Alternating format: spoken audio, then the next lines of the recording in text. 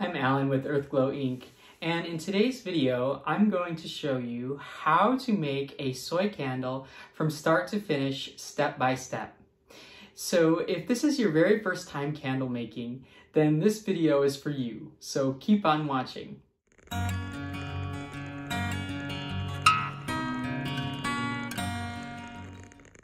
The materials that you'll need for this project are all linked in the description box. You will need 8 ounce tins. These can be purchased on Amazon. Actually, most of these uh, ingredients can be purchased on Amazon, and I'll try to include as many links as I can below. Um, the wick bars, you can also use clothespins. You'll need a stick thermometer, a chopstick so that your fragrance oil doesn't spill all over when you pour it into your measuring container, uh, a spatula that you don't use for cooking, something to measure out your fragrance in, and I would recommend um, just investing in a little beaker for this, and I'll have one linked down below. This is a really good investment um, because you want this to be clearly marked from something that you would be using in the kitchen, uh, like for food. Um, there, you don't want any cross uh, contamination of fragrances uh, with anything you'd be using in the kitchen. So it's very good to have clearly marked containers that you're using for candle making. Uh, you'll need your wax, and in today's video, I'm using 464 soy for this. And you'll also need something to adhere your wick to your uh, vessel. I use Permatex Clear Adhesive Sealant, and my wicks don't go anywhere. You'll also need your fragrance, and I have a choice of three different scents that I'm recommending for this project. Uh, the first one is from the Flaming Candle, and this is called Coffee House. It's a wonderful fragrance, but to me it smells more like a caramel latte. The next fragrance uh, that I'm recommending for this tutorial is called Beach Linen by Candle Science. And this is a beautiful, fresh, uh, summertime scent that just really fills your home beautifully if you're looking for something more on the clean side. This last option is called Strawberry Guava, and it's also by Candle Science. This one is definitely fruity in a fun and spunky way. The next thing that you'll need for this project is your scale to weigh out your fragrance and wax, as well as a set of gloves. And you're also going to need wicks. Now, for these 8 ounce vessels with pure 464 soy, I recommend using the CD Wick series. And for this diameter container, the CD14 works perfectly. And you're also going to need some isopropyl alcohol. And my bottle definitely has has gotten a lot of love. I actually repurposed a bottle of hand sanitizer for this. And finally, uh, your star ingredient, the Presto pot. And last but not least, it's always a good idea to have some paper towel on hand. The very first thing um, that I do when I start making candles is I will take my rubbing alcohol and I will just spray a paper towel with it and start gently wiping out my jars. Now, the purpose of this is just in case there's any dust down there, it helps my wick to properly adhere to my container. And I do this with all my vessels. You do want to make sure though that you don't have any leftover rubbing alcohol in your container um, it does evaporate very quickly, but just make sure to use a little bit on a paper towel.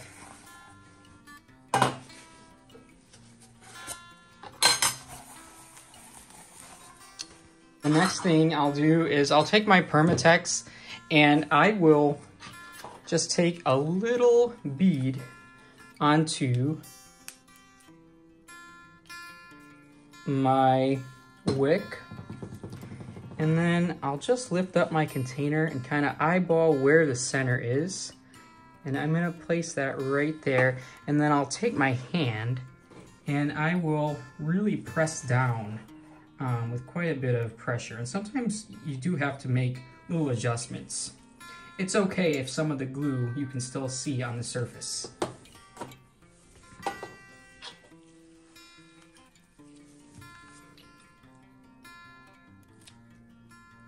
And sometimes I'll get some of this on my gloves too.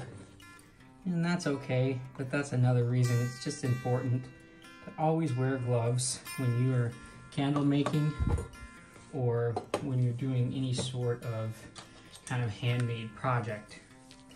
These vessels, you'll notice too, have some imperfections and I always separate those out that do have imperfections from my suppliers so that I don't make and sell a candle to my customers that has a dent or something. Okay, so the next step is to put these off to the side and we're gonna get our wax melted. So I'm gonna be adding in our 17 ounces of soy and this will be enough to make three candles. This is gonna get pretty full and see I do always spill even after making thousands of candles. I do, there's 15. Just grab couple more ounces here. Kind of pack that down a little bit.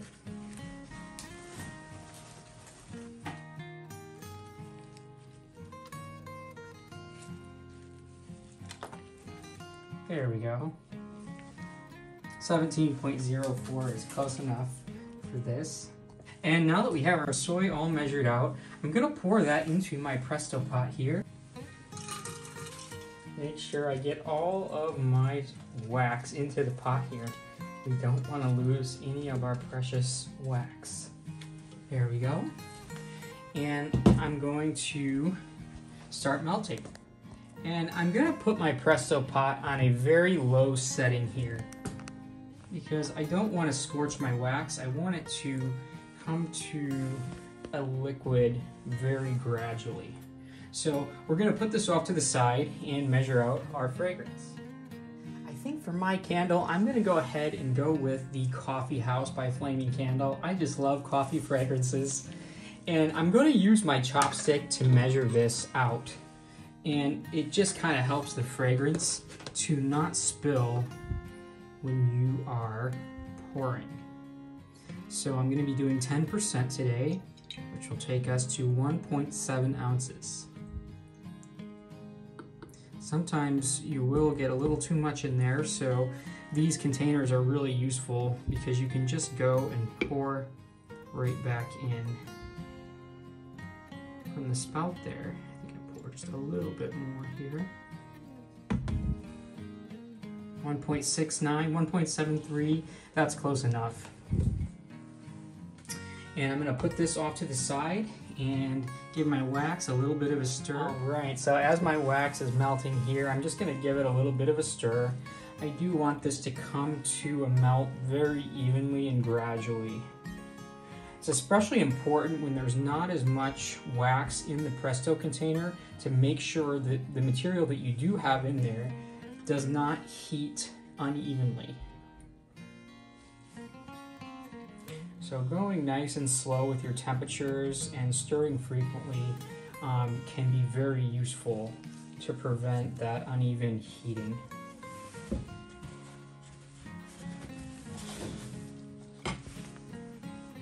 Now my wax is just about all melted and I'm gonna take the temperature here.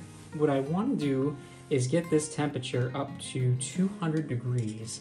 Right now we're at about 182, so we've got a little ways to go.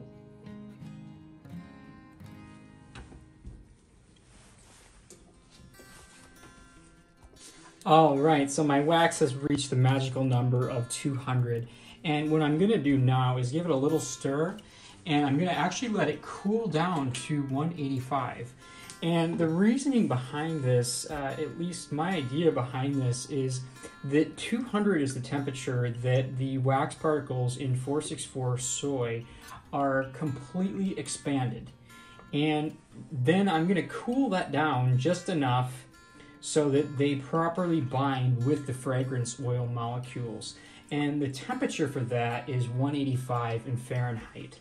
Now, this is widely recommended among a number of reputable uh, candle suppliers and makers. So this is not my specific number for soy by any means. Um, if you're working with any type of 464 soy wax or soy 415, um, this is a very good temperature to add your fragrance oil. And now that our wax has reached the magical temperature of 185, I'm going to be adding in our coffee house fragrance oil uh, from the flaming candle. And this fragrance just smells amazing. I also wanted to note that all the fragrances I recommended for this video will have a wonderful hot throw um, with 464 soy. And that's really important when you're selecting fragrance oils uh, for your soy candles especially.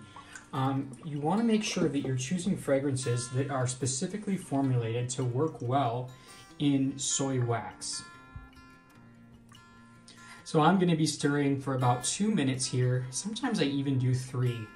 And the reasoning behind this is that you want to stir enough that the fragrance oil properly binds to the wax. And two minutes is the number that's most widely recognized. And I'll usually stir back and forth, nice and gentle. And now that we've stirred our fragrance oil for about two minutes, I'm going to let the wax cool down to about 135 to 145 degrees Fahrenheit. And that's a good pouring temperature for 464 soy.